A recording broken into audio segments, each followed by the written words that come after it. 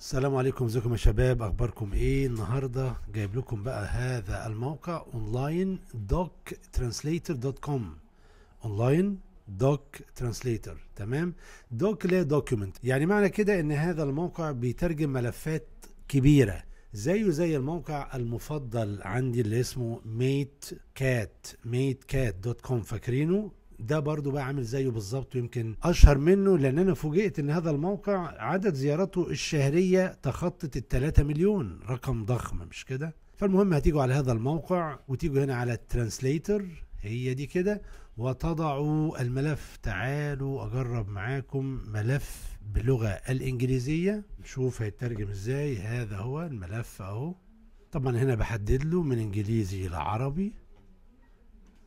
واقول له translate وهنا بيقول لي preparing to download. هشوف بس معاكم دلوقتي حالا الترجمة. أهي download أهي. وهذه هي الترجمة. فدي الطريقة. لكن أنا ليا مأخذ على هذا الموقع.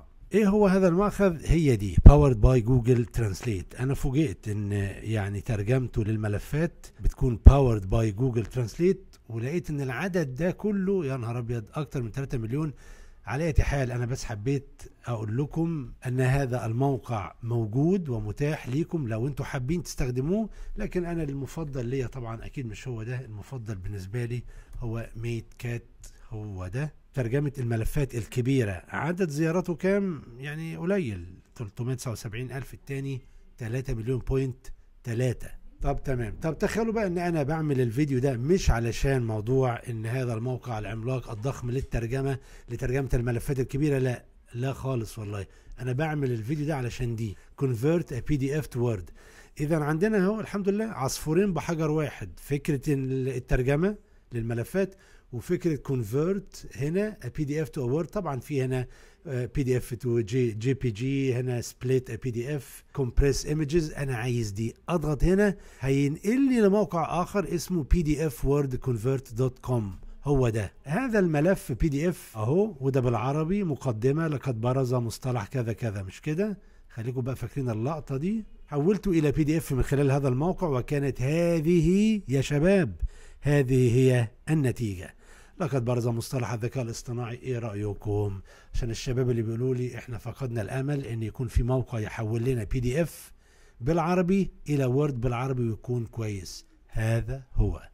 طيب جربوه وقولوا لي النتيجة والتفاعل بتاعنا عادة بيكون يا إما على الفيسبوك أو على قناتنا على التليجرام لأن أنا بحط الحاجة هنا وهنا. والشباب يعني بيتفاعلوا لكن طبعا في حدود اللياقة والأدب وإن إحنا لا نتخطى أبدا ولا نقول أي لفظ يعني ممكن يؤذي الآخرين. فدي طريقتنا كالعادة. جربوا هذا الموقع لبي دي اف عندكم بالعربي والله يخليكم قولوا لي النتيجة. فأنا أهو الحمد لله أول ما لقيته قلت لكم عليه وأهو فرجتكم يعني بشكل عملي على هذه النتيجة. هيطلع لي حد يقول لي ما بيشتغلش بالعربي. النتيجة قدامكم اهي بالعربي؟ اهي والله اهي اهي وورد بالعربي. وهلاقي اللي يقول لي برضو مش بيشتغل بالعربي. جربوا وقولوا لي. ما تنسوش تدلوا برضو غيركم عليه. الدال على الخير كفاعله. هذا هو. سبحانك اللهم ربنا وبحمدك. أشهد أن لا إله إلا أنت أستغفرك وأتوب إليك.